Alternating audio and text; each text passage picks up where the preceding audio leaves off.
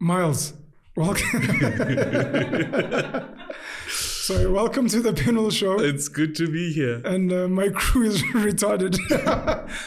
um, welcome to the Penuel Show. I'm I'm so inspired to meet you, um, to know your story, um, and I'm hoping that you will unpack it for everyone to learn. Because the little glimpses of it I've seen, my understanding of human beings and their achievements, I know there are so many thick layers in between. Yeah. But I guess for me, I'll start with my entry point. I'm driving with my partner in Alex a couple of weeks ago, and I see this really dope container. At the time, look, and I made a video because I saw Gwal SA, yeah. and I saw that there was Gwali SA. Yes. And then when I posted it and people said it, I was like, ah, Yeah. Gcwalisa, come yeah, on. Yeah. Yeah. But anyway, so I, I walk past this or drive I drive past this yellow container, Gcwalisa. I'm like, no man, this is dope. And I literally reverse back and I want to look at it. But after looking at it, I'm like, I want to capture this because this is inspiring. And I've spoken to a lot of entrepreneurs that have told me stories about my grandmother used to sell ngenkomishi. Yes. And I'm like, someone has actually formalized this and it looks so dope. I go in there, ngihlangana no mom. I'm like, Mama, can I take a video? She refers me to her daughter. I look utility social media. I'm like, yes, I just wanna. She's like, sure. So I I take a video, I post it up. I think it trended on on TikTok. Yes. I posted on my Instagram. You reposted it because I didn't know who'd founded it. I was just like, hey, Oledi's doing the most. Yes. Someone mentioned something about SAP, etc. And I found you and I went on your page. I was like, no, this is actually someone that's really dope. Thank you, man. So shout out to you, shout out to Gcwalisa, and I'm hoping along the journey of your story, you will speak about that as well. I mean, I think shout out to you for stopping and and and blowing us up. Thank you, like Sure. sincerely. And uh, the Umama that you you met, um, she's actually a community member. Um, Yeah. They run a community based organization, and they've been doing it for twenty years, feeding kids in that community, like forever. Unsung heroes, they just do it, like. And they just kept on doing. How I got to meet them was during lockdown, you know, when the president said level five, Sure. I'm like an entrepreneur. When someone says sit, I go out. I got Sure. in my car, I drove, and Alex You're was no breaking food. regulations, Baba. I, I, I certified myself as an essential service. it's like, and I went, and you realize like quickly that people are nagotla, right? Yeah. And and they were busy, so I called up some of our entrepreneurs. We have stunning kitchens. Everybody rolled up their sleeves. We started cooking. You know, the first day I think we did 300 meals, and we kept on going. And we just found these community-based organizations. And once you start getting there and working with the community, then you meet other role players. So I made an organization called SA Harvest. And I sit on their board. Um, Giron just invited me. Said, "Look, I see what you're doing. We've got vehicles and we've got distribution. You can just focus on the food. We'll take it." And long story long, um, as of three months ago, we've done three million meals. Crazy. Um, something I didn't set out to do. Like, They invited you on the board Yeah, just from the work you were doing. yeah, we were like, and then we just we started a band and we just grew this thing that was But you realize that's insane, right? Our understanding of how people get on boards is not be of service. yeah. People will see you and you will get to wherever maybe you want to be, or maybe if you, even if you don't want to be, but they'll make your service easier. And that's literally been my journey. Is that in fact my mom puts it best. She says, if you're stuck on the side of the road, get out of your own car and start pushing because Yeah. you'll be surprised to see how many people will stop to push. Because with you. you're pushing. Yeah. Who wants to push you and your car? Yeah. You know, people push something that's in motion. So it's easier for people to support when they see that you're doing something. And it doesn't have to be monumental, like small. Mm. And that's how it started. 300 meals, you know, Three million. 3 million. I remember doing charity work in Alex, I think before COVID. Umartin Bigim Mhlongo, rugby player, I think he works in agriculture. There was a lady in Alex, uh, Utsepi. She's an accountant and she's also a referee in rugby. There's Africa Tikkun Yeah. in Alex, and we Yeah. did a huge soup kitchen and gave away groceries and blankets. And I was like, and Futi Alex is such a weird township because townships have a model. Yeah, and Alex is Alex is not unique. part of that Yeah, model. It's yeah, some other. yeah. How do you get involved just with Alex besides the lockdown? Were you just driving around? Where's where's home? How do you get into just doing community work? Yeah, and and I'm an entrepreneur, so I'm not a social bunny hugger, anything Sure. like. And in fact, that's the, how Gcwalisa came about because it bugged me. Because once you start doing the charity stuff, so you feed ten people today, there's fifteen tomorrow. Yeah. I'm like, guy, come on, like it, it's it's redundant. You And know, it's you not feel sustainable. like it, it's totally not sustainable. So I was thinking there must be a charity model as opposed to charity, where people are invested in their own dignity. Please say that again. Charity Yeah, just- Sharing Yeah, it's just versus charity. yeah. Beautiful. So share as in having an equity in whatever you're doing. So because then you stop the cycle of um, cap in hand and begging. Because the thing people don't tell you is that once you are in charity, it's layers of begging. So we go beg for corporates and retailers to give us the excess food. That's what we do with the SA Harvest. We go to big retailers like Pick n Pay, ShopRite, and say, give us your sell by date food. Because there's nothing wrong with that food. They just have to move it from the shelves because there's another truck bringing more food. Fair right? enough. So it's like literally a time issue. So we take that food um, and then we give it to those community-based organizations. And but you're essentially begging yourself. So there's tiers of begging. I'm mm. like, ah, bruh, I didn't sign up for this, you know. Mm. And and to what end? When does it stop? Mm. So when I saw Mama Pule doing this and doing it out of her own um, kindness of her heart, serving this community, and she's been doing it for years. Her mom did it. I was like, there must be a model where we can break the cycle of begging and also give the end customer dignity. Because how it used to happen back in the day, like you were saying, Ekomishi, is like, mama would send you next door, ke bole go shugela. Sure. Problem is that now, next door, habana shugela either, right? Mm. So no one talks about that. It's Yeah. like, you know, so then it automatically forces somebody to go into a charity mindset because you don't have any resources to buy just even the bare minimum Sure. right? Where you could have borrowed, right? So there's no dignity in that. And then once you get into that cycle, you just continue. So just to, to wrap that up, what I then realized is that also a lot of people in the townships are not poor, they're just poorly paid. So they have a cash flow issue. So if you cut grass or you're a cobbler, you, you're making ends meet, mm. food is designed in such a way that the pack sizes marginalize you out of being able to pay for them because they come in a fixed size and price point. Yeah. But I'm a systems engineer, so if you remove the things that are stupid, like really, like Yeah. if you remove that and you allow somebody to buy for the amount of money they have, all of a sudden, the problem systemically goes away. It's crazy.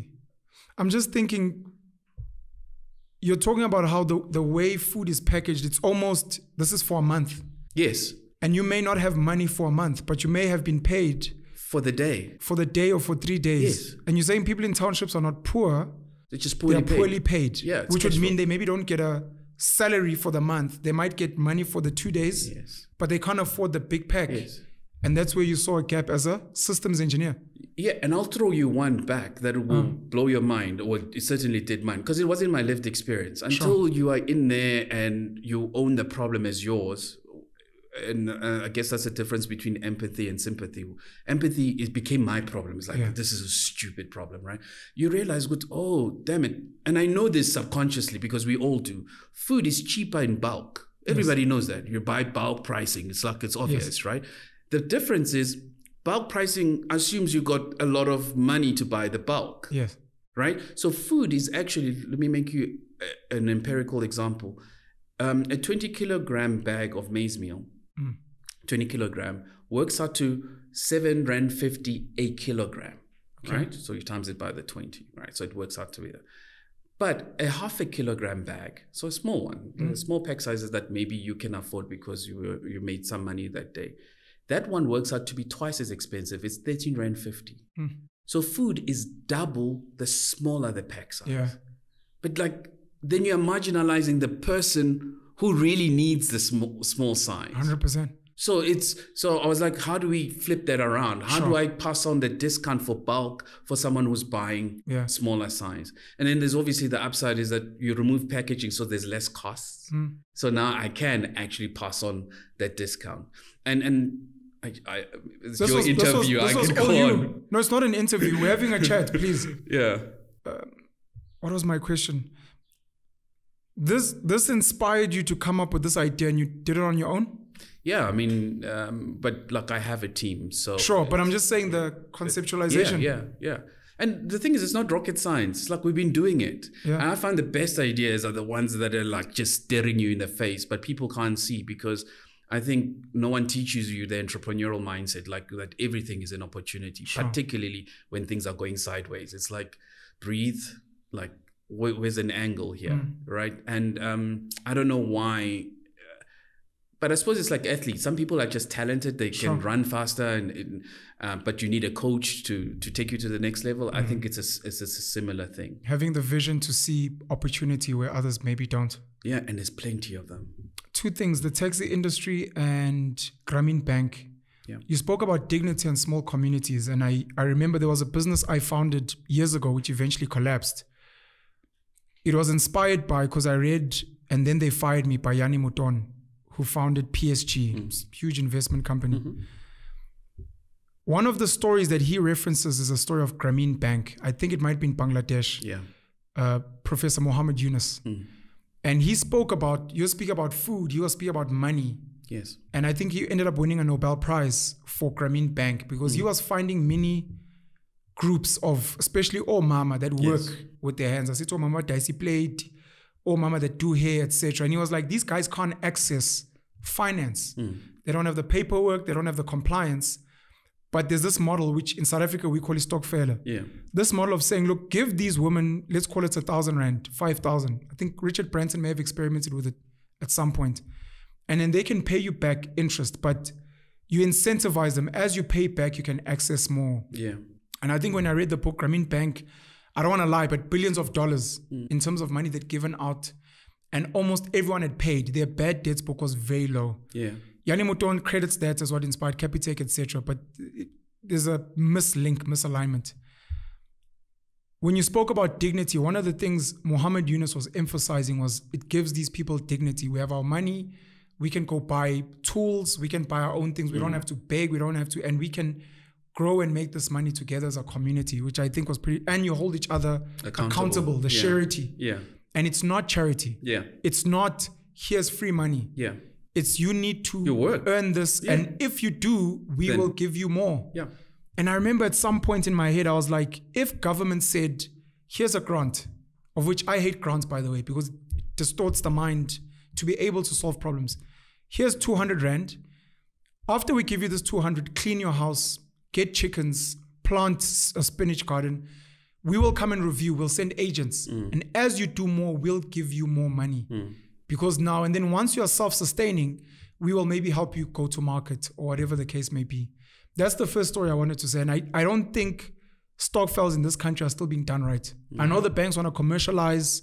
They've tried. I know some people are coming up with apps and other things but i don't think we've hit the core the way you're doing with iGcwalisa to say if you're a group of five people i think government tried it with co-ops mm, but they also mm. didn't fully explain what co-op is a fancy stokvel and let the people do it organically right, and say, look, get it, Grancha 5,000, do some work, we'll give you more, we'll give you more. Mm. And that's the first story with dignity.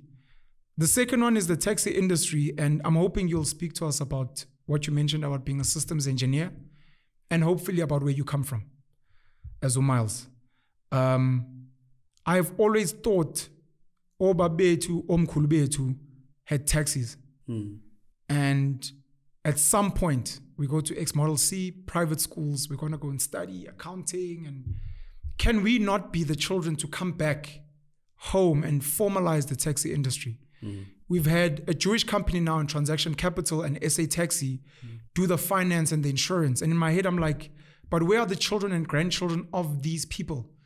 Um, you've gone and done that. And this is where I'm hoping you'll speak to us about engineering and where you come from. right, I'm imagining a story of a young boy being like, my mom or my grandma used to have this thing where she'd aneza abantu cooking oil ne flour and mm. rice and impupu for a little bit of money, itiki or ipen, whatever people had. And as I grew old and as I studied with Imalia Gogo or Imalia Mama, a dicey plate, mm-hmm. I then traveled the world and I saw what I could formalize my mom's little food truck. I saw you posted. I saw you posted Uvuyo, story of Vuyo. Such a big, big dreamer. yeah, And you go and you become that. And it's a challenge. And I've said it's a challenge for us. our parents did whatever they could to send us there, but have we ever gone back home to upscale and formalize and add technology and innovation to what they've done? The taxi industry kids have failed.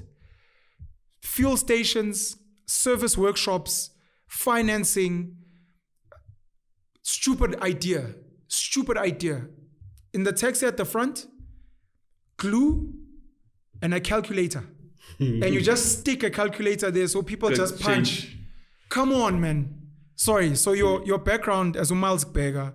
I mean, I think the thing is, engineering. you, you've said so much there. Like, I wish we, you know, we. Kollega, please, please Yeah, speak. I'll try and shut up. No, no, because I think there's so many like nuggets that I'm passionate about in in each of those things. Um, you know, the one thing though I do, the older I get, I've come to realize that like we really need to be nicer to ourselves. Sure. Right? Like I heard it uh, saying, and I was like, and from a young kid, was it treat yourself like the person, like the way you would treat someone you love. Sure. And I think as South Africans, because it's rough, I mean, it is what it is, right? We're very quick to be hard hard on ourselves mm. and forget where we come from. And I'm not saying it like in the oh yeah yeah yeah yeah like, but but things do take time. Yeah. And I've traveled the world, and I can tell you there's problems. Sure. And that's one other thing I would wish on South Africans is exposure, is travel. People need to travel. People need to travel. It changes your perception. Like Even within the country. Dude like mm. get out of your own province because then you and that's why like when you see immigration and all of that in fact we should be exporting our own youth. If like i had means and the power if you turn 19 like i would pay for people's gap years or as and say yeah take $10000 whatever mm. go and go be someone else's problem. Go drive an uber in someone else's country. It does two things. One it takes you out of your comfort zone right and when you're uncomfortable somewhere, you become resourceful. Yeah. Right? So and then you set up roots there potentially. But it makes it easy for the second guy we we're sending next year. Yeah. Because now there's a community. I can tell you that's what every community in the world does. Yeah. I've said in, in the back of so many Ubers, never once been driven by a South African Hmm. anywhere in the world. Sure. Uh, But I can tell you every other nationality is doing There's just been that. an Uber driver there. Shout out to Israel, by the way, because I think they have a fund of Israeli kids, Jewish kids, anywhere around the world. They get, I think, a free trip to Israel yeah. when they're young. That's uh, and I think that changes our perception. And then I think we're coming back to the point that we are being hard on ourselves. Some of those things will just take time. You get so hurtful, and the system is called an Overton window. Like uh, things are like a pendulum. They'll go to extreme, and then they will go to the extreme opposite to try and course correct. But they're almost always take the best of the two. Sure. What's it called? Um, uh, Overton window Overton window. window. Yeah. Okay. It's like even morals, right? Like morals go, or some in the 1800s, you could marry at 16, and then all of a sudden it's like, you know, Deemed inappropriate. it's deemed inappro- But then it settles to what the then society believes should be normal. Sure. Yeah. No, please keep going. You said there were nuggets. I want to know about systems engineering and your upbringing. Yeah. I mean, I think uh, so. Grew up in Soweto, born and bred. Where in Um, Soweto? A Diepkloof expensive, as my mom would say. Um, Your parents were well off. my mom, uh, raised by a single mom, amazing woman. Shout out to your mom. Yeah, no. What did she do? Um, she worked in research, um, and like worked the the whole gambit until she owned her own business, which I think she would have owned and started younger if she didn't had two boys to raise by herself. Which is something like I feel bad about. I wish she she had started it earlier. You know, but time. A lot you of our parents and especially our mothers were kept out of opportunities and things that would have fully ignited their their talents. Hundred percent. We'd be different place. In fact, that's the other point you mentioned about women um, uh, earlier. To me, like O- Umama Pule and Alex, for example, like I found that women are literally carrying this country. Yeah. Like like on their heads, on their backs, they've got the kids. They literally, if you beg it takes, like almost always, it's seventy percent women. Yeah. But guys, we are not showing up Sure. like proper and i mean i and like the classic story my mom gave me that still seems relevant now if not more she says in like in the 70s or late 70s she was working in downtown joburg and um lunchtime, she just thought, let me rush downstairs and buy a magwinya on the pavement. She gets downstairs. Eh. There's this uh, cop with the, you know, the stick they used to walk around baton. with, with the baton. There and- might be another name for it. but yeah, but yeah, and and the guy says, Donkey Piri. Sorry. and the guy says, um, "Where's your pass?" She says, "Uh, "No, I left it upstairs. I just literally came down, type of thing."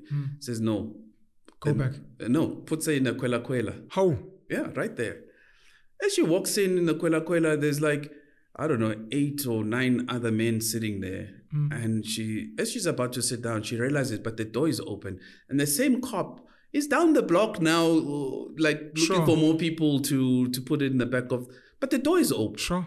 She says, Mara, why don't we just why don't we leave? Yeah. oh, my, oh, oh, yeah, yeah. You know? Hmm. So she stands up and leaves, goes upstairs, and she looks down, and guess what? They're still sitting there. Hmm. And the, the part that bothers me about this story, and listen, I've seen it time and time again, is the fact that even when you've shown people an example, Yeah. because one thing if she said as pume and angapumi, Sure. and right, okay, but she left and nothing happened to her. She possible. showed them, and they still stayed. It's mental, it's mental, not colonization, but yeah, it's when your mind is captured and contained. Yeah, And imprisoned. contained. I see- I Mental imprisonment. Yeah. maybe is the term I was looking for. Yeah. So, so I was raised by that woman. Shout out to your mom. Two boys Yeah. at DK. Yeah. I saw it. Well, we started off in Fuller North, which was like proper interesting. I remember because I used to catch a train to school Yeah. every day by myself. I think I started catching it at like six years old. Crazy. The one time uh, I was playing in the field at the bottom and I forgot Gotigmile Sambe. And then I had to go to a to a station by myself. And I don't know if the train hasn't changed. It's still like hmm. it's full, you know. And I don't know what my stop is. I mean, like I'm six years old, and I got on, right? Look, you know, times were different. Like kids would still make it home. I I think if it had happened today, I probably yeah wouldn't hmm. have. Fluke got off at the right station again. Just luck. There, there was I don't know. Yeah. So Jeez, shout out to you. And it's it's crazy how life has changed. yeah. I still see kids in the Joburg CBD, very young, probably eight, seven, younger, walking in the streets, crossing robots, going into some school that's in a building. And then I think of all the, especially guys that I've met, especially at a tertiary level, like at UJ Wits, who are petrified of the CBD. Yeah. And I'm like, I see kids crossing the roads on their own. Yeah. But how things have changed, because it wasn't a problem for some of us young as we were to go home. Single Yes. mom, no nanny, no whatever. It was a community that raised you. Yeah. And that's why when I saw Mama Pule doing what they were doing, it just resonated with me. It was like, those are the pe- people, that's something that's in motion that I, I can get behind. Mm. I only have to apply myself. So, to your point about being a systems engineer, so I went to Wits. Uh, my undergrad was at Wits. Um, my master's actually was also at Wits. And I always just appreciated um, learning. Um, And again, I think it's my mother's fault because I remember even in my bedroom, my the headboard of my bed was books. The headboard was made out of books. She used to read it training because she had nothing. That's the only way to escape. So I grew up with books all over the place to a point that my son now is like an avid reader. My son reads like books this big and, Yeah. and at a very young age. Um, and I, because I think you can break the cycles or you can create new cycles, True. right? So, and you can see it. So that's why I say we need to be kind on ourselves. It's it's a journey and it's a hard journey, but it doesn't help to shoot ourselves down either. Sure, It, it's not going to move us faster forward sure. you know and and in the points about government and all of that i think like anything you know i've i've seen um and worked with some ministers and i was like joe i don't want that job. She's- no bro think about it logically. Think about if you were a terrible terrible administrator minister whatever Sure. you're bad like things are so bad now in terms of things that need to be fixed and done Mm-hmm. that even if you bad the volume of work you need to do Yeah. do, you, do you get my point I is that it, it, it's it's Andre de Ruyter coming into Eskom. Well, we, we can argue about his tenure, but he came into a, a, Yeah, things a utility company that was already seeing flames. So my point is, I think again, if you don't have visibility, you will have a point of view, Mm. Right? And rightfully so. You see what you see. It's your lived experience. If Amanza or Pumi, it's a direct impact on you, Sure. right? But I think context also matters. I think we don't often see the whole picture, Mm. and I've come to realize that often it's not the problem that's the problem. And I've seen it this with even with iGcwalisa. Often it's not the problem that's the problem. It's the things around the problem that are the actual problem. Okay. So you try to fix one thing and you realize, damn it, it's actually, this is actually not the problem. Yeah. It's all this other stuff that uh, represents in this final thing that I, I'm trying to fix. Sure. Yeah. No, I hear you. Um, what would make you study engineering? And and if you had a good schooling experience, if you had a good schooling experience, please can you give a shout out to your primary school and high school as well before you Yeah. blow the horn on Wits? yeah, man. Um, I think three quarters of success is luck. Okay. And I spend a lot of time trying to figure out how you can make that scientific, right? Like, Sure. Because I look at restaurants, you find five restaurants, but the one is pumping. Like, what is it? Yeah. Right? So it's easy just to apportion it to luck, like a random Sure. act, right? But there must be things, There must be something. something, right? When you have a curious mind and an entrepreneurial and mind, it bothers you me. do you do want to figure that out. Yeah. So luck um, played a huge role in my existence. So my um, my mom was working for this advertising agency, and um, one day at the printer, random, she's at, like getting printouts for she's a clerk or whatever. And the one guy, executive in the company, says, "Ah, Beatrice, um, you got two boys, ne? Yeah." Says, "Yeah, the one is older, one is at school." And says, "The one at school is he doing well at school?" Says, "Yeah, it's okay." And um, and the guy randomly just says, "Well, you know what? If you find him a school like a multiracial school, we'll pay for it." Brilliant. my life that moment changed. Yo, she comes home to tell me this. Yo, I was like, "Ini, I'm in a township school. I'm in standard two. They want to take me two years back because obviously I don't speak a word of English. I remember my first day at school, bruh. Like, after I fought her and I lost that fight, but first day at school, I'm surrounded all these white kids. Hmm. I don't know a single word of English. I had to watch all these other kids do so that I know what to do. Sure. I did that for like a year. So she would wake me up every morning so we can do spelling like at four o'clock. And and now my school is in Bedfordview. So I have to wash at five so because it's an hour and a half drive with traffic. Hmm. It was like and then you see these white kids who live across the road and they walk just five minutes before the bell goes. Like that stuff is traumatic. I It still remember it today, It right? is. And and then I would have to wake up long story long, by the end of that year, they used to give out this little trophy. I remember that. They used to give out this this trophy for essay. The person who writes the best essay every week, every mm. Monday will get the trophy. The whole year, man, I wrote and wrote the damn thing, didn't get nothing. Mm. Last day of the year, the teacher says, um, the person who gets this trophy at the at, for at the end of the year gets to keep it. Uh, I'm not even concentrating. Sure. I, I hated that trophy to Yeah. be at that point. And they call me up, and I, I I'd gotten I was the most improved student, and and I think it wasn't even brains there. It was just brute force. Yeah. It was my mother's brute force. You will do it, and I did it. It was a teacher. I, it was just brute force. Um, what was the name of the school? Saint Elokishini? Benedict's. Uh, it's Sizanani in in Sizanani. yeah. And then um, you went to St. Benedict's Saint Be- in Bedfordview.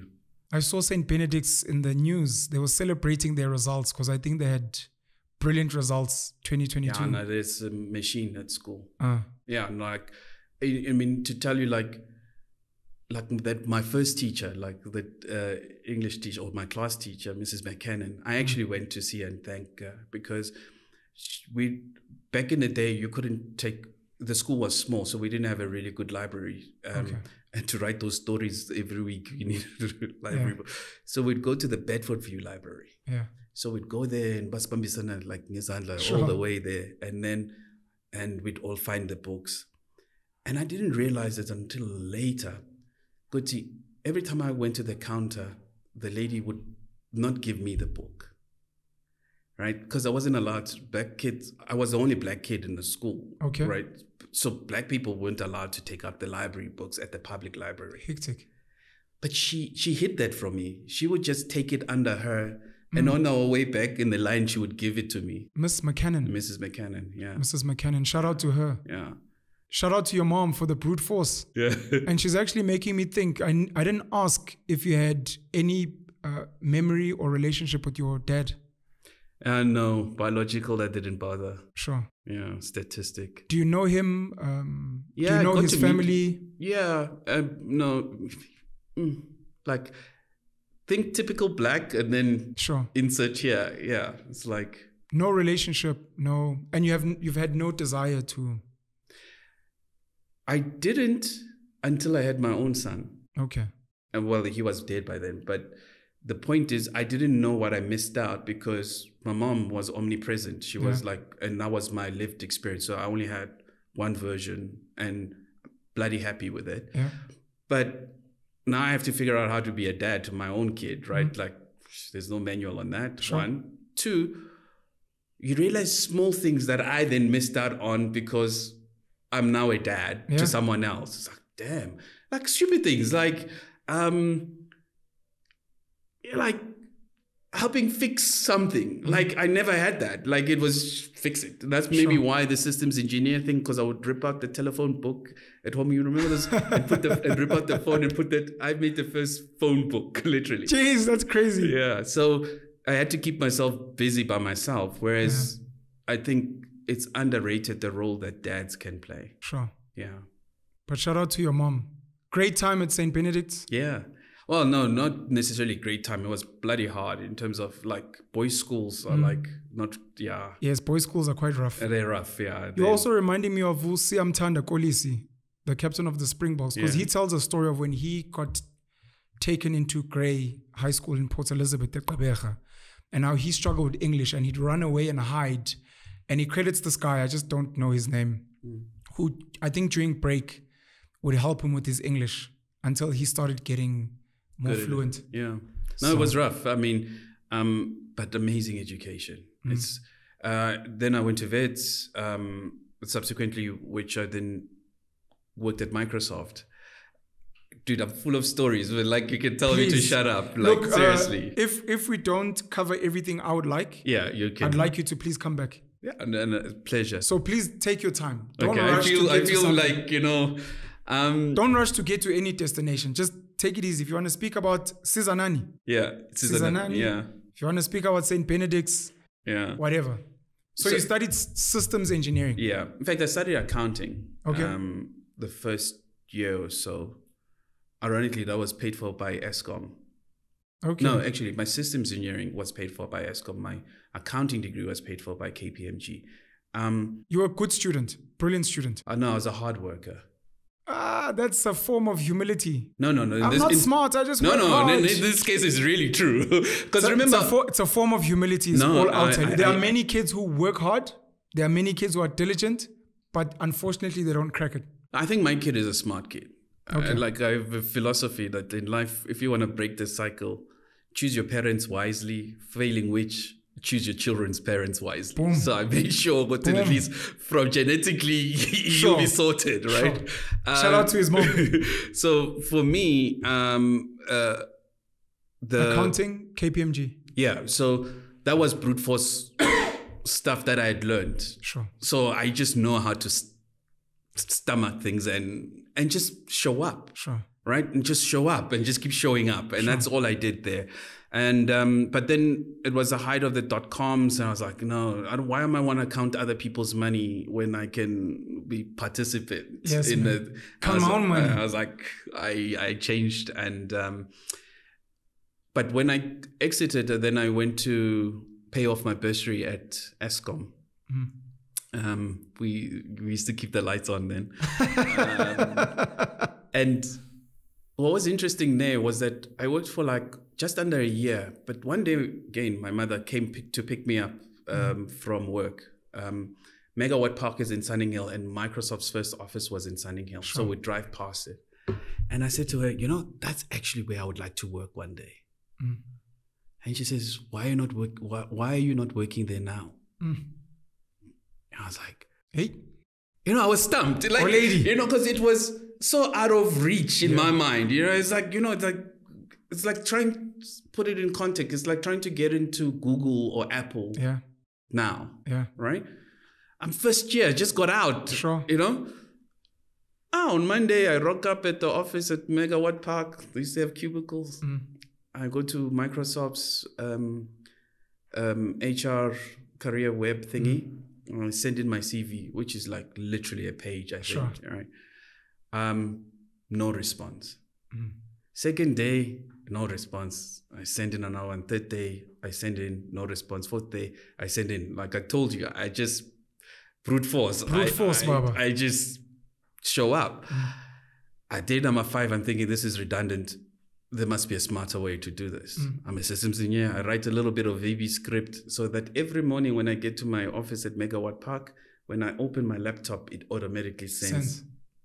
It does so for the next 17 days. VBS script. Uh, yeah, vi- uh, Visual Basic. Then yeah, yeah, No, it's coding. That's a, I wanted to say before you carry on. I, I almost so I did accounting. yeah, I was un, under Ernst and Young. Shout out to the firms for paying for us. yeah. Thank. In my first second year, because we had to do computer science and information systems, I almost changed. Almost, because I, I got good marks. I enjoyed it. Tech was buzzing, but I was like, no, I'm actually just here to get my degree and get out. Yeah, I half regret it. Yeah, I I think jumped. it would have been a really great deviation. yeah, VBS script, which Yeah. is a code so that it yeah. sends. I just wrote a little bit of code and it sent in my CV every day for the next 17 days. On day number 17, I get a call. Hi, this is so and so from Microsoft's recruitment firm. Our servers were down when they came up.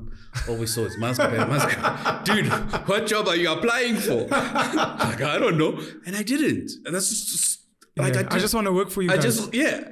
So mm. they brought me in for an interview. You went through seven interviews back then. I think you still do seven. So um, the first one is the recruitment agency, and mm. then and then you speak to the engineers, and then you speak to the the the the team that you're going to be mm. interviewing for, and then the VP for that team. So it's like, and then Bill Gates. No. Sorry. so on my last interview, in fact, on my third or fourth interview, I was speaking to an engineer. It's like they're trying to be smart because, like, you know, he says to me, "Why are men hold? Why are men holes round?" Yeah. Right? I'm like, dude, I knew the answer, but I'm like, dude, I'm from Megas. I'm from Soweto. There are no manholes in Soweto. Hey, he felt so bad because Sure. he was trying to be smart. I hit him with like a race card. and like he, I could see his brain going, "Chick, chick, don't compute, you know, like I could see him. And uh, uh, and they run because obviously drill bits around. But anyway, so I, I then on my final interview was with the VP of the team I was going to join, Maureen. And I came in with my uh, These things are like easy for you, like oh, obviously because the drill bits. uh, That's like a form of knowledge privilege. But come on, it was just a basic VBS script. We all know man holes around. Because I was gonna ask, because the drill bits that they drew. I mean, yeah. okay. Are you aware of that? That there's certain knowledge privilege you have that to other people is like, yo, I didn't know that. I think back That's then maybe you could argue knowledge privilege. I don't think that stacks up anymore because dude, just It sit could on be the spaces you're in now. Also, no, like, information is ready. People don't consume information. They But that- watch bums on social But media. that's a decision. That's that's but that's the okay. decision is a form of privilege. But it's still a decision. Okay. Please continue. Yeah. Sorry. So now I'm meeting the big boss, Mm. Maureen. So I come with my laptop bag and I say, listen, um, I've gone through six other people. Let me let me just tell you what I would do if you gave me a job, Sure. right? And I'd like to present it to you. She goes, like, she's now, "Mm, I have dreadlocks then. She's like, doesn't know what to do with this. Like, Sure. the whole company is lily white. I think there's three other black people in the entire thing, right? So, um,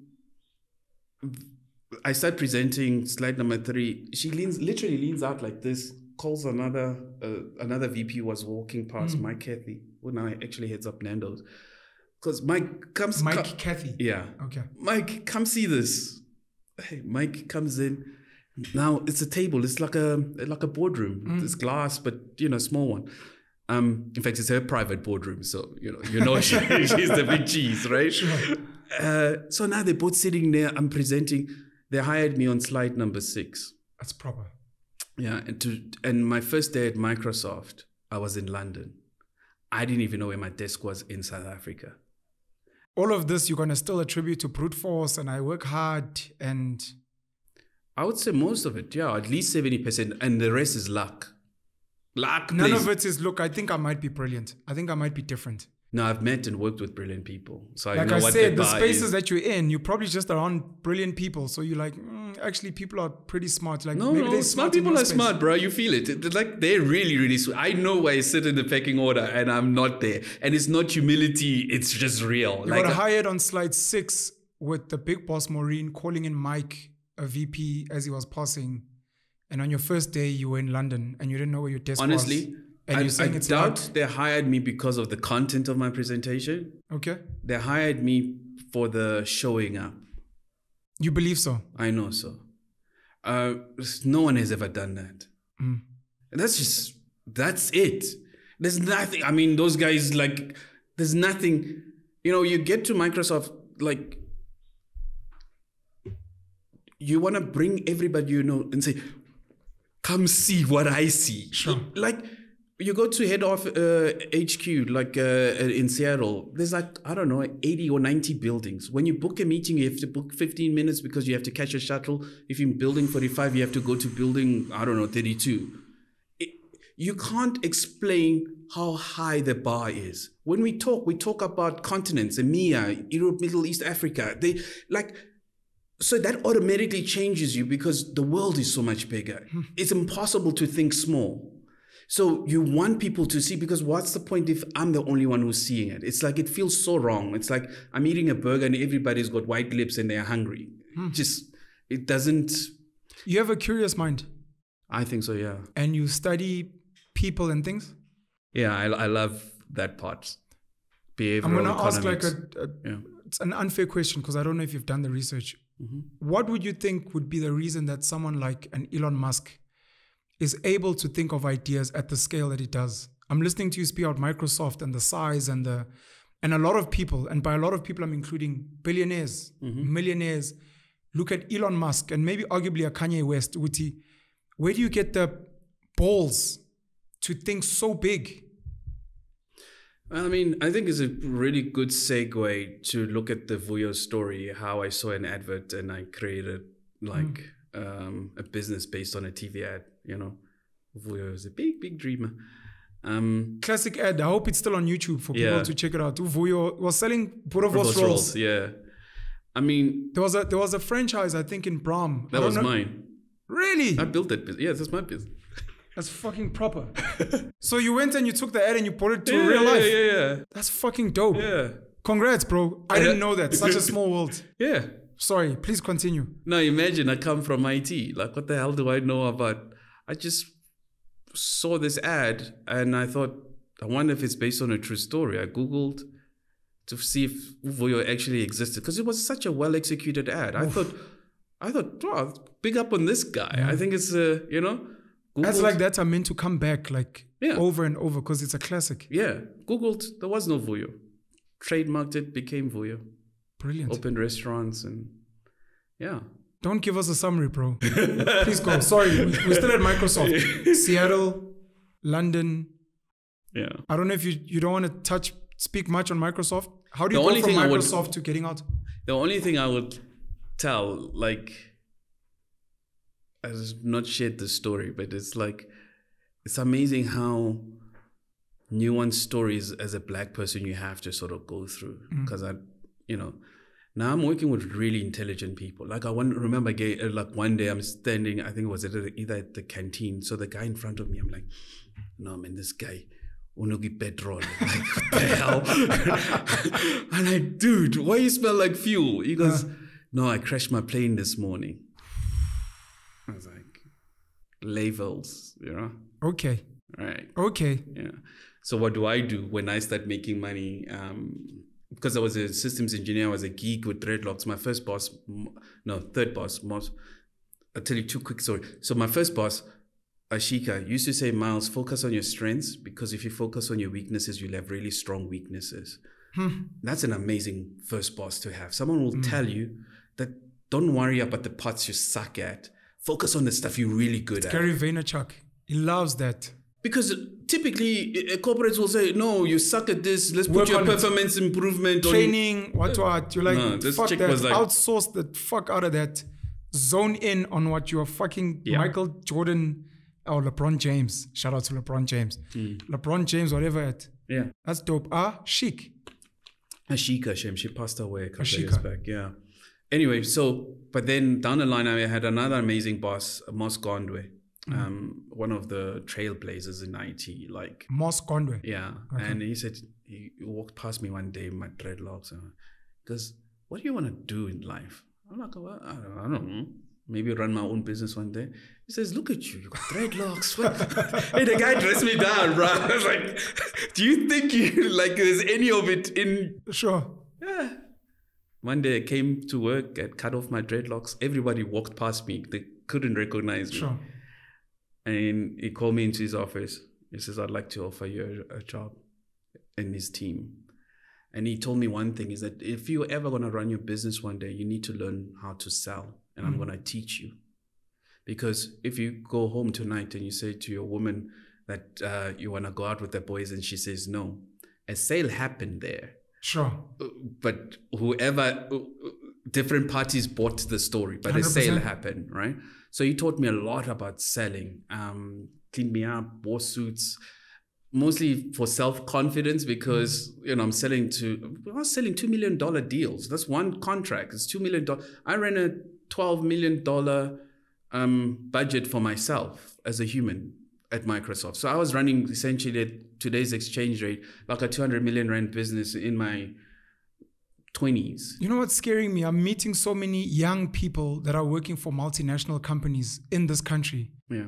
that are telling me things like, we just signed a $5 million deal in Yeah. Dubai. We just, I'm like, why, why are people not aware of this? Everyone is trying to get like a job nyana, Ah, no, dude. KFC, Edgar's, some are trying to be accountants, lawyers. Like there are kids signing deals with governments, whether it's tech, whether it's manufacturing plants, whether it's Yeah. And it's real. And the comms, yes, the commission on that and the was real. commission is what they normally tell me about. They're like, listen, I'm actually I'm in a dealership right now. The finance lady said you can go. Let me It's- tell you about signed. the dealership story. Uh, I rock up in twelve shorts. million dollar one man division. Yeah. Hectic. Sorry. Thinking of the com on that. So I go buy a car. I go to Merc, looking at C63. No one stood up. I'm wearing shorts. no one bothered. No one stood up. Like no one stood up for me. So I asked. I had to go to the Sure. to the- Learning season. the learning season. So learning season. And I'm like, um, the guy says, no, we we don't do um, test drives. Oh, you're a showroom. You don't. Ah, Ngapuma walked across the road. There was investment cars, I think. Then I I saw a very nice starter pack Porsche. I was like, I, I'd like to test drive that. The guy says, sure. White guy says, sure. Took my ID, um, and then pulled it out for me and gave me the key. And I said, Aren't you coming? He says, No. Do You want me talking in your left ear while you drive? Go, go. Dude, I drove around the block and I that's came dope. back and I, I- and I bought the car. That's selling, by the way. Yeah.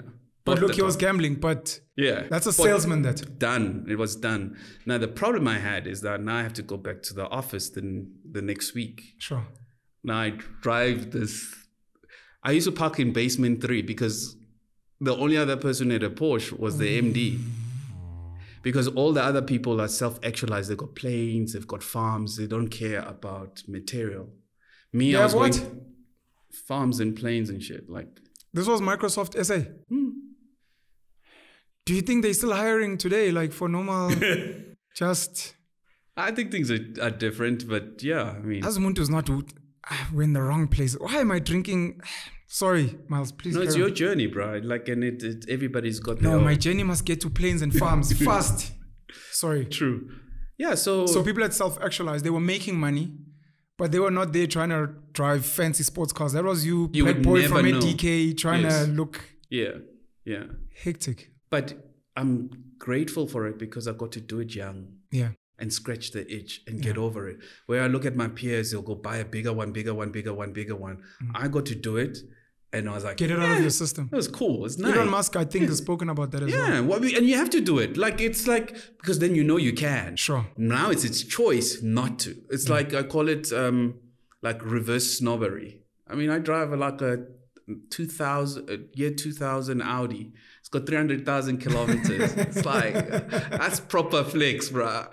And the upside of that is I can drive anywhere. Alex, Diepsloot, anywhere. Sure. All right. Um but it's such it's liberating i don't Mm. owe anybody so your decisions are clearer it's it's it's the ultimate luxury that and being an entrepreneur where you decide what you do every day Your decisions are clearer.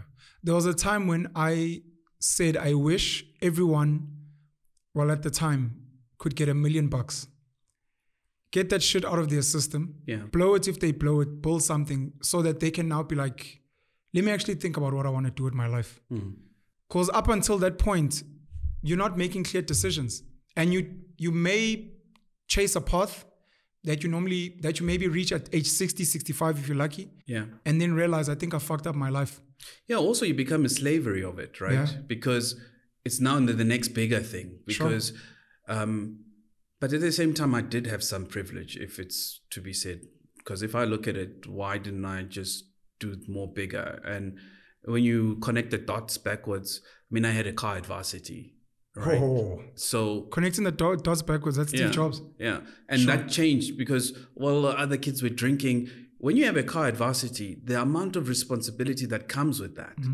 Because you could be the girl. I mean, dude. Yes. I mean, You're God. Oh, yeah. At right? varsity with a car, you are a God. So you, I could have been, you know, I could have dropped out of brute force. I Yeah. showed up and I just.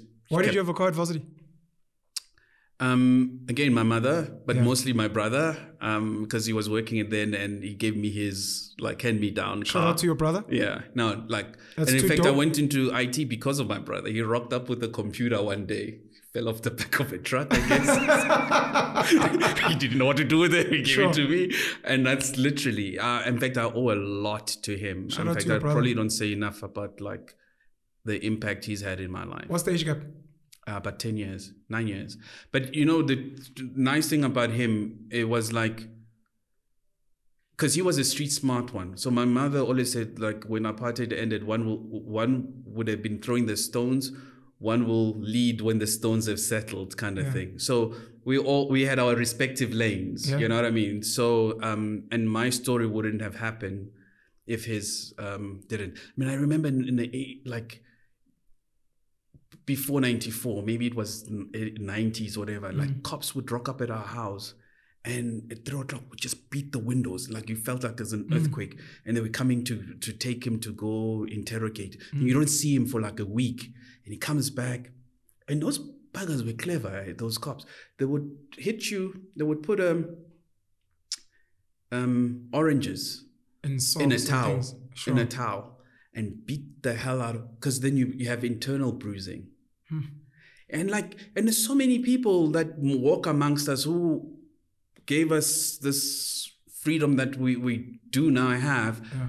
and a you don't know about them and b you know there's no recognition to that fact that's why i'm saying like we need to have a level of kindness But of self love. yeah I've got a, a sister that is 12 years younger than me. Her name mm. is Penrose. My brother's three years younger than me. He sometimes doubles up as my older brother. but I'm just trying to think since I asked about your dad that in some way, I don't know what your relationship is like, but your older brother became like a father. He gave you, no, no, no. I mean, in the sense that he gave you a car, oh yeah he yeah, exposed yeah, you to a yeah. computer, things that you would assume. fair that's a good point. I got my first car from my dad. My dad introduced me to a computer. So that's a fair shout point out to him for that. yeah fair point actually Like I said, I don't know what your relationship is like, but just for those things. Yeah, it's not like dead like, Sure. but I can see how you can, um, you know, draw that line. And because I had never looked at it that way. But yeah, definitely played a very, very, very, he continues to play a very significant role. Porsche and then to where you are today. Um, yeah, so what then happened was, um, You went from a Porsche to a Ferrari, and then Bill Gates gifted you his G5, and then you decided, oh shame, you know the people in Africa need me, and then you came back. No, that's definitely not like that. not sure I would have come back if that was the case. um, so no, and then I um, reason why I left Microsoft was um, I, I don't want to tell that story, but it's an interesting story. Okay. But I left um, and we started our own software company with a colleague of mine, Michael. Okay. Um, I know we've got such colonial names, Michael and Miles, um, both black.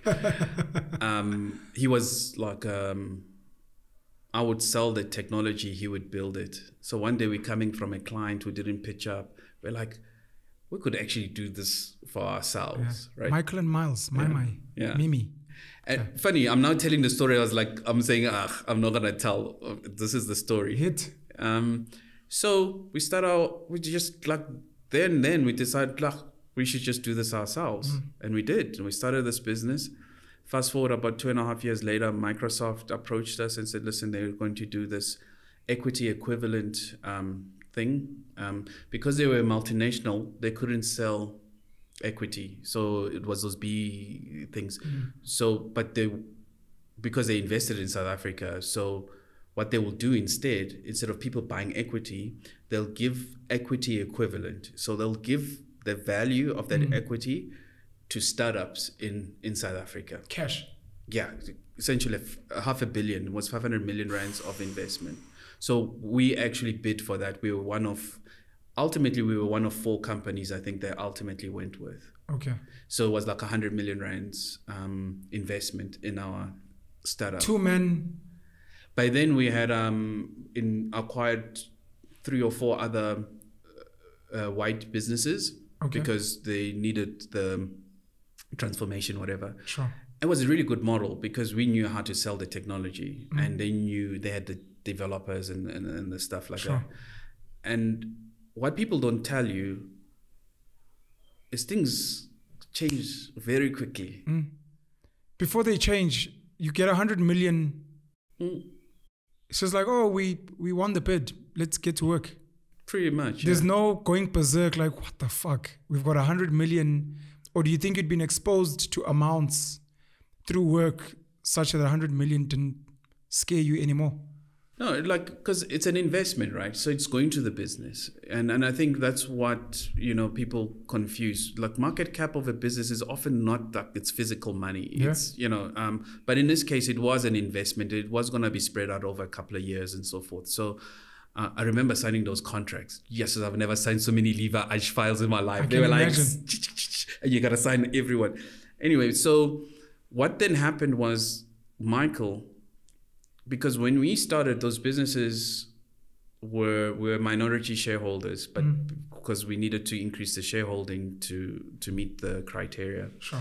um, and then michael one day he comes to me he says but dude because the one company we we bid with which we owned hmm. um, it's the the white directors the other co-directors hmm. were husband and wife Sure. and the wife was this CFO and the husband was the CEO. And we didn't mind at the time when we were minority shareholders, hmm. right? Because we had other, we were busy. But Michael says, dude, hi, this can't happen. This is a sexually transmitted relationship. you can't, it's, you know, it's the, the governance. And we know how Microsoft works. This is going to be a problem for us down the line. And so we, I'm like, hey, dude, let sleeping dogs lie. I'm like, let's just ride this thing and just Sure. move. Hey, Michael won't let it go. Ah, we get in the boardroom and he tells them that, look, this has got to change, right? You can't. Fast forward three months, with the four of us, us and them, couldn't mm. sit in the same room. It went sideways This is the that fast. things change fast. Mm. Now, there's a 100 million, in it, right? Hmm. we walked away from it. I don't know what that means.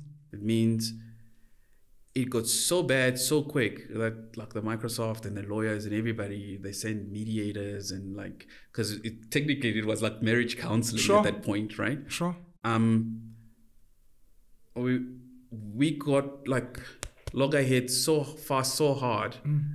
Uh, I suppose we were young, dumb, full of cum kind of thing, and um, yeah, we walked away. It was like you know, fuck, fuck kind of thing And potential money you were gonna make. we walked away from it. I can tell you how it feels to walk away from that kind of money.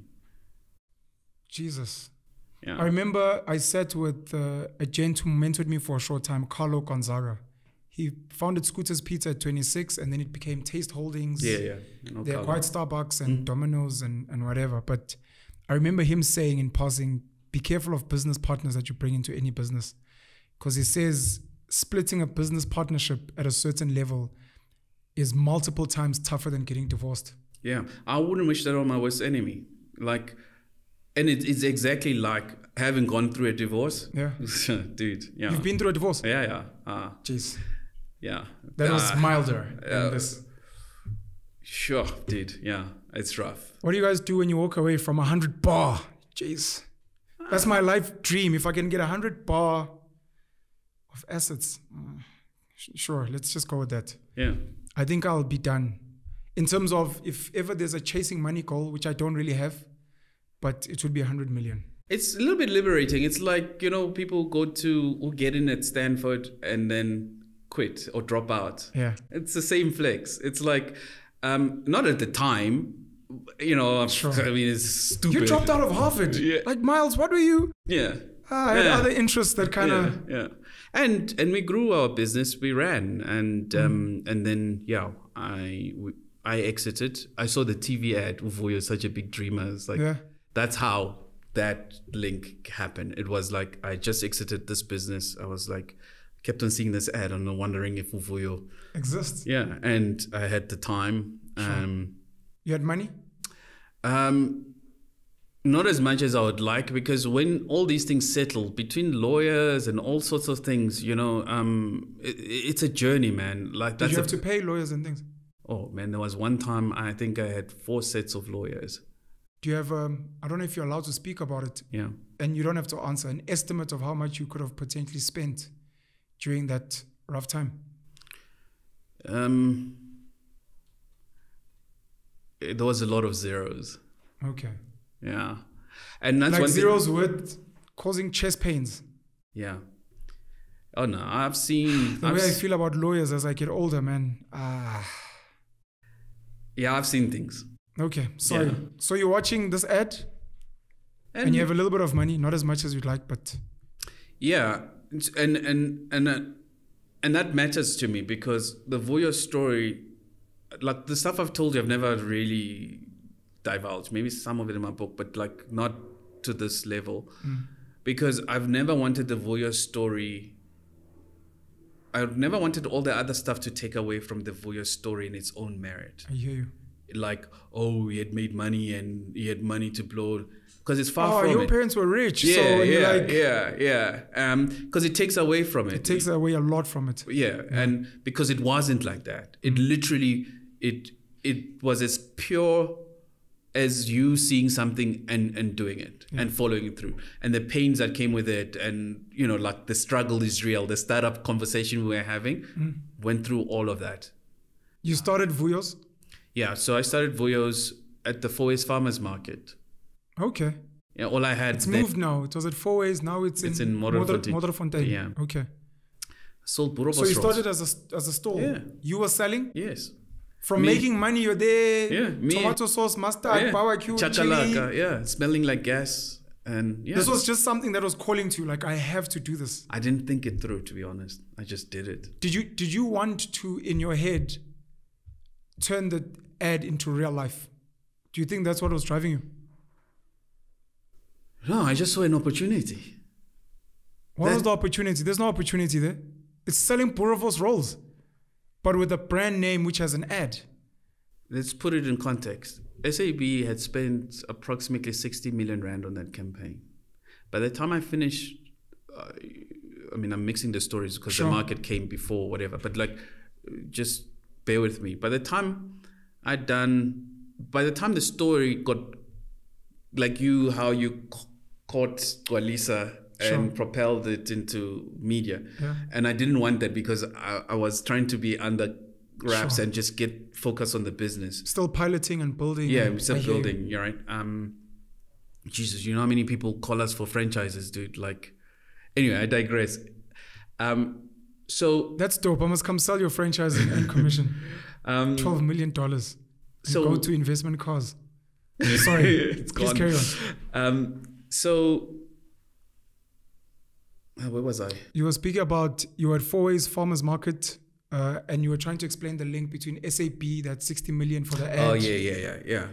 So by the time I'd finished, one the, the story caught wind about this guy who took the ad and created a whole business, Yeah. and it just blew up. That increased it by another 40, 50 million rands of free PR. So by that time, I owned a hundred million. Ironically, how's this for irony? Jeez. Yeah, like seriously, I have of a back. Now I'm, I sit with an asset that's worth a hundred million rands in brand equity at least. It's not cash. Sure. I can't take it to the bank. Sure. But it doesn't change the fact that it's. And if you understand finance and accounting and numbers, that's essentially what it was. Yeah. Now all I had to do is build it in. Sure. Now, in other words, I had the shell. Now I just needed to build the guts Sure. of a business. To that's what I saw. Okay, I hear you. I've, Yeah. I've seen like a, I don't know if it's a meme of this person saying, I've got a billion dollars in my head. How do I take it out into. Yeah. Um, you wrote off the back of the ad. I had a fish and chip shop close to Gandhi Square in 2012. Mm. It was called Penwells, not Vuyos. Mm-hmm. Even though Vuyos was very inspiring. Um, I remember there was a, a young Jewish guy at the time, Greg Cohen. Mm. He was working at Bayport and he was sent by the Nando's founders, in particular Robbie Brozin. Frozen. Mm. Yeah. Great guy. Brill- they, Most yeah, the- amazing. The, guys that you meet. But it, Robbie actually connected me with Carlo Gonsalves as well. So they sent Greg to come and check my shop and tear it apart and tell me what's bad about it. And the name was part of the issue. No one knows who you are. You haven't built the brand value. The other thing was my colors were yellow and red at a time when fish and chips were blue and yellow. Yeah. Why yellow and red? No, I like the colors. I get rid of them. Mm. Do yellow and blue. I'm like, why? It's gonna look like those other guys. He's like, exactly. He's like, these guys spend millions in ads, and people are gonna walk in here thinking that you are them, Yeah. and you're just leveraging off their colors. Yeah. Um, I was still eh about it, but I understand now. Yeah. Brand like equity. the opportunity of here's a brand, here's something that people think is dope. Hmm. How can you build a monetizable thing? It's already being done for you. Yeah. But when you think about it, like I had learned a lot. Sure. Remember, I worked for a multinational, uh, one of the top brands in the world. Yeah. So I gotta have learned something. Sure. You know what I mean? So uh, it's it, your journey is a series of antecedent events. You are who you are because all these things. Antecedent. had- yeah. All all these things that had to happen Uh. for you to be who you are. You can't skip a step I hear you. right? So the reason I first I'm telling the whole backstory is because if you look at it in isolation, it looks like luck played a bigger role than it actually did, Sure. and it did play a role. I mean, I still had to see the ad, and Yeah. then I still had to do something about it, Yeah. right? But the doing something about it could have been. The reason probably is a lot of the stuff that had happened to me Sure. previously to get there. Um, antecedent. Yeah, I'm gonna go look that up. it just means uh, the steps before. So for the people that don't know the story, just or who have heard the story and maybe forgotten it, Yeah. you mentioned you can only connect the dots backwards, and I know Steve Jobs says this line in one of his speeches at some Yeah, Stanford. university, Stanford. Mm. People don't know the story of. I'm I'm linking it to your story of how I think he was adopted, and he ended up getting to tertiary, and I don't know if he dropped out or what happened, but he ended up squatting with someone, and at some point he ended up going doing these ARB courses, and one of them being calligraphy. Yeah, And that's how he ended up with fonts yeah, in computers, which you didn't have before. right. And some of the other experiences that you have. And it's like you almost can't. You almost can't skip them because if Yeah. you skip them, you don't have this unique View. brand and Mm. person that is Miles. And we could probably take it to Alisa as a container to a person that doesn't know and actually break it down and almost be able to point at Cesarnani, St. Benedict's, your mom. And that's why they you, you can't because my, I'm now working with a ton of entrepreneurs. I own a food accelerator called Wakanda, and we work with amazing You're speaking talent. too fast. You now work with a bunch of Well, entrepreneurs I, I, I'm, at I'm a food accelerator called Wakanda. yeah. I was, Okay. Yeah, I was trying to. for the slower kids that uh, didn't do st- the systems engineering. No, I just didn't feel like uh, so many things. and like, oh, this guy, like, Sorry. you know. And so, um, the why I was telling you that is like a lot of people say to me, dude, like, oh, I've got such a great idea, but I don't want to tell you because I don't want people copying it or stealing it. I'm like, what makes it a great idea is you. Yeah. That's it, right? um, I can copy it, but I'll never execute it the way you will because you live with it. It's in your mind's eye. You'll see it the, like you, and the more people you speak to, it's actually the superpower because they're helping you bulletproof it. Sure. So like if even if I look at like the Gcwalisa or even Vuyos and all of that, is that what makes it cool is the insights that are uniquely lived experience. Yeah. Right. So um I will look at things that I mean I even struggle with like my ops guys sometimes. I'm like, how could you not see that light is out or like like there's things I see Yeah. and and then it's painful for me. I'm like, how do you not see it? Like you know what I mean? So I have to continuously teach myself kuti, you know, we come from we look at things differently. Your, your experiences sculpt the type of eyes, ears, nose, mouth, taste, feel that you have. Picasso is Picasso. He can look at the same subject matter as you and I, mm. but it's only a Picasso because Picasso painted. Vuyos to Gcwalisa, that. So you left Microsoft, Yeah. system engineer. You now go into food. Is this what you went into? Into food? Sorry, can I interrupt? No, please Time. feel Like, free. uh, you what time do- do you have to leave? So it's half past twelve. Shit. I Are you don't know. late? What time are we supposed to finish? At one, ne? Latest one. Uh, yeah, latest one. But look, we can go for. I don't know how much time you have. Five to 10 I've got minutes. to catch a flight. Um, but I'm checked in. Uh, latest, maybe ten past one. No, we can ra- we can wrap up in like fifteen minutes. Yeah. Okay. Yeah. Yeah. Please So feel free. 15, 20 minutes is fine. Yeah. I'll I'll yeah. check time. So Yeah. it, Sorry. d- d- Do you do? no, please relax. You, this is a chill vibe. yeah. Uh, You're gonna cut this part it's out. twelve thirty three now. You're So joking. we'll no, we're not twelve. what will you call it? Twelve fifty. Twelve fifty. Twelve fifty. Twelve fifty five. cool. Systems engineering, Vuyos. Now you go into food. Yeah. That's Is this what happened? Yeah. Just like that. Mhm. Okay, you're in Vuyos now, but like food, because you're a chef. No, I only studied to be a chef later on, um, Okay. and that was purely because now I'm running restaurants and stuff. And But what does running restaurants mean? So Vuyos, yeah.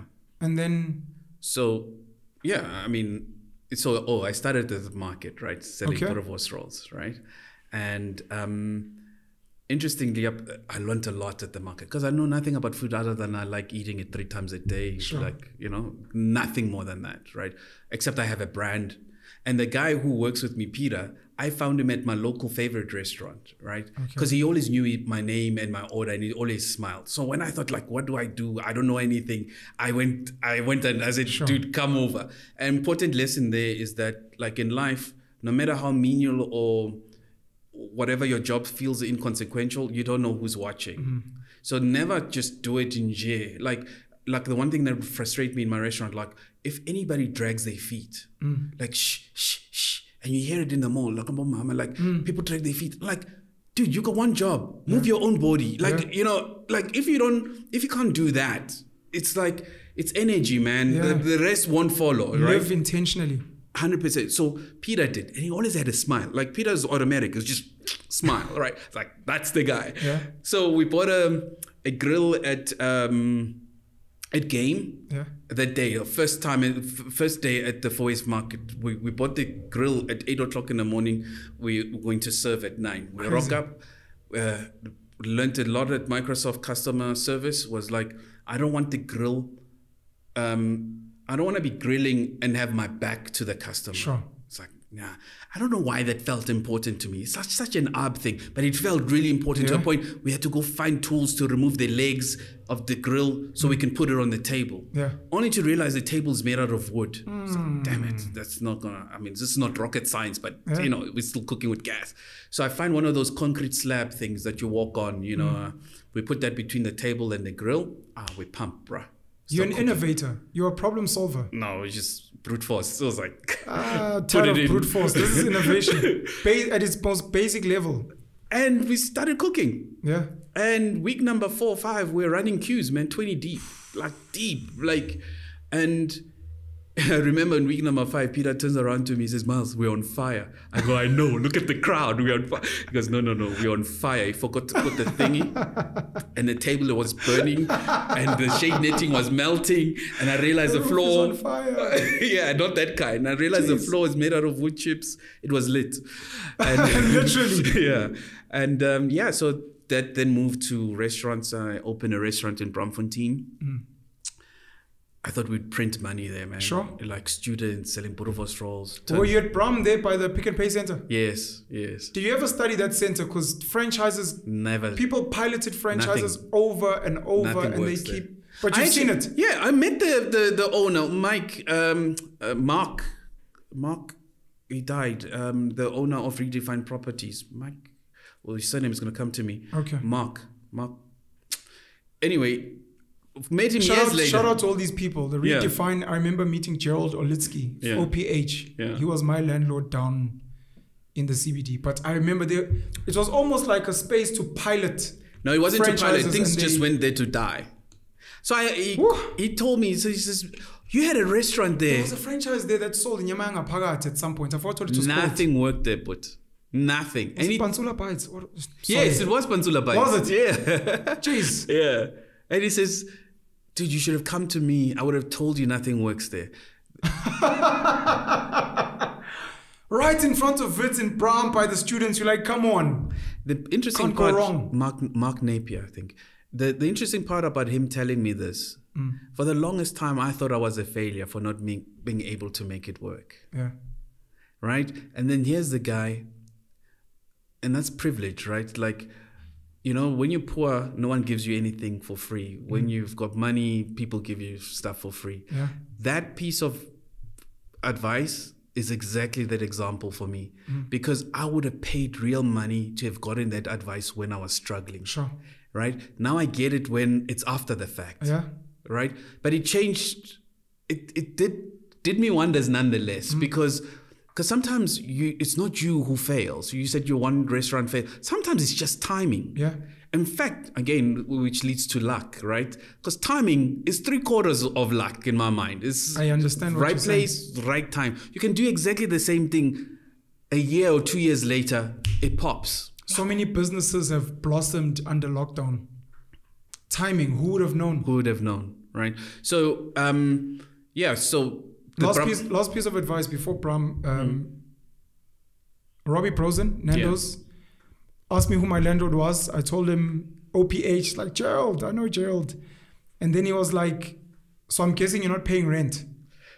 I'm like, No, I'm paying rent. It's like, No, man. You're a startup, you're a no name brand. You should have told Gerald, Can you please give me six to 12 months no rent while I build? I'm like, I wouldn't never You fucking known. thought about it, yeah.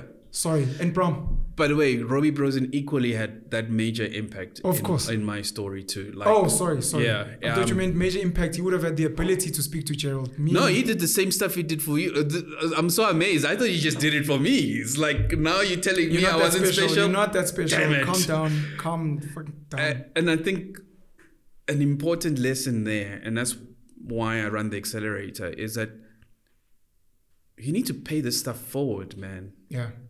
Right? You do, and Ingamla do, and Yeah. they helping us, you and me. We are.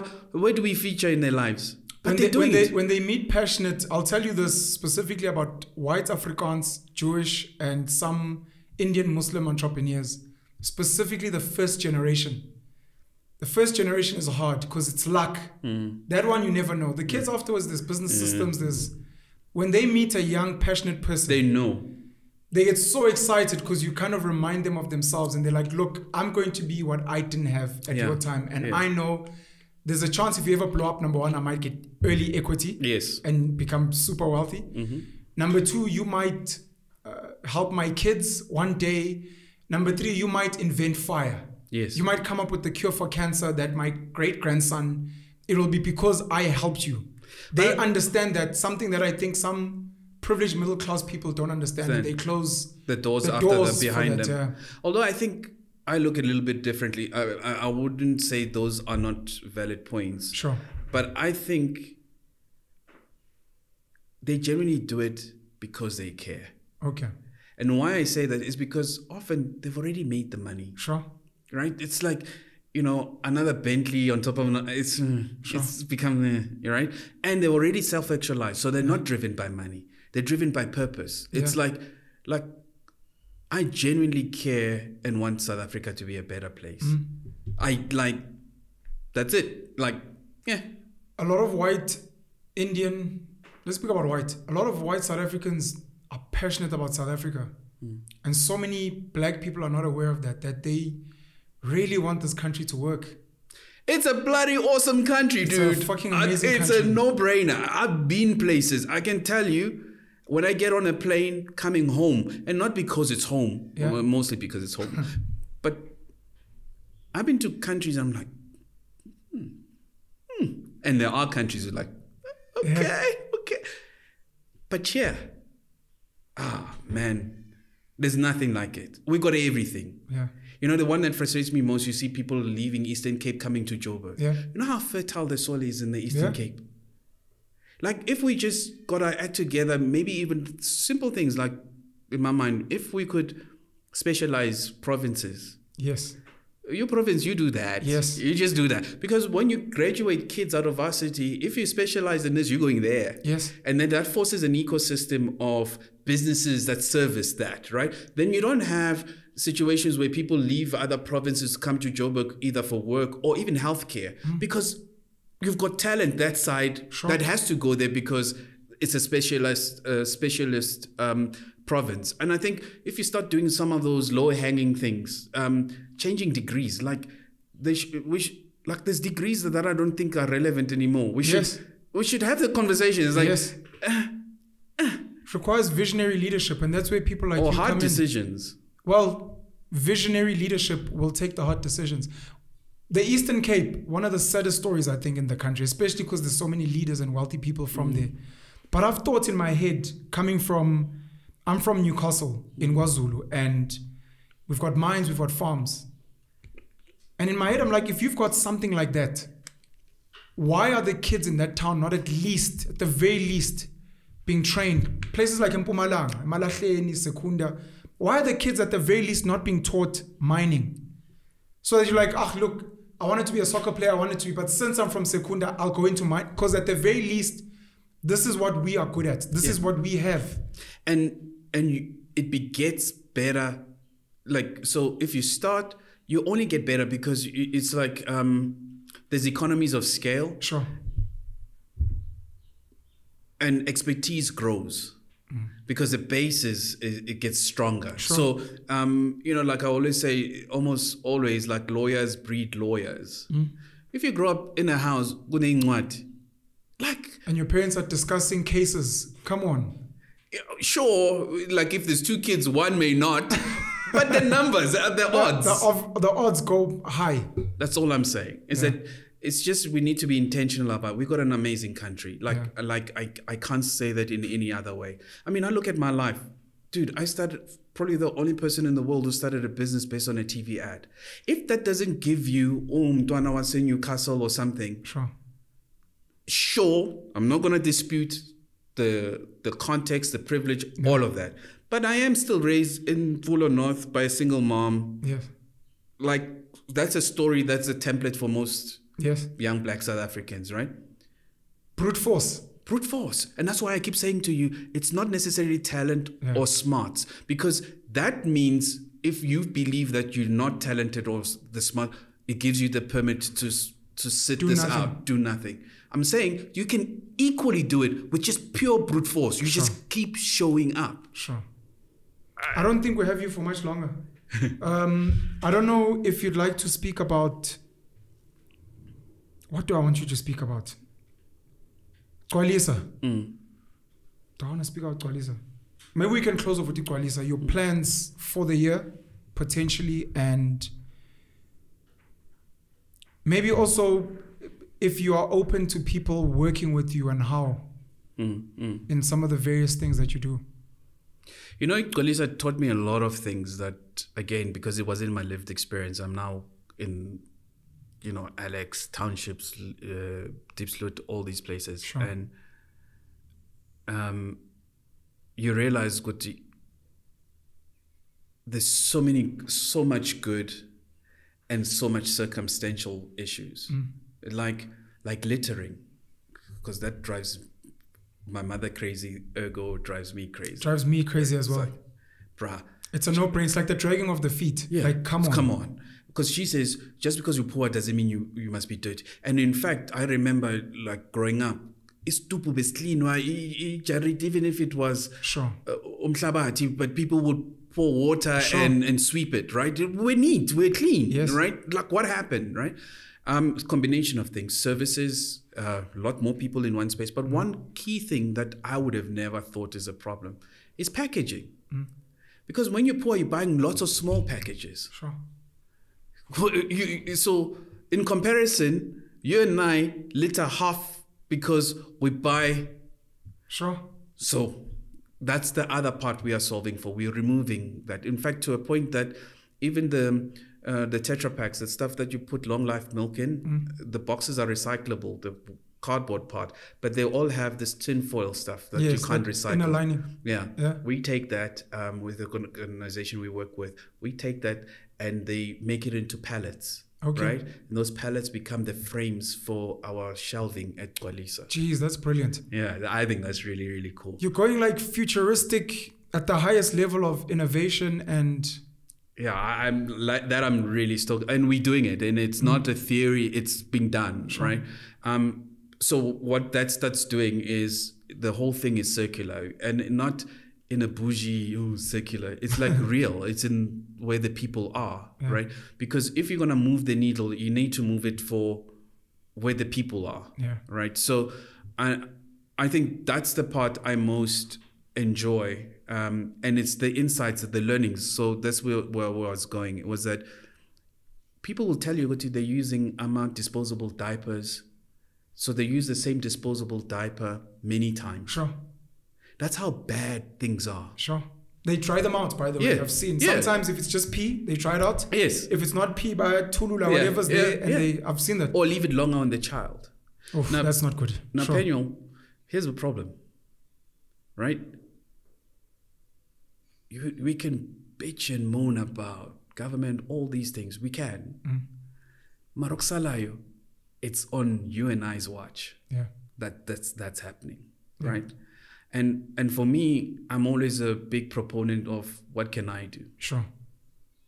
because I then get the agency and I have the urgency to do it. Mm-hmm. So I can sit or bl- and blame, or I can be part of the solution, right? So, and like I said, once people start seeing you doing stuff, you- you'd be surprised. People then Your come mom's in, story about the pushing of the, the car. pushing.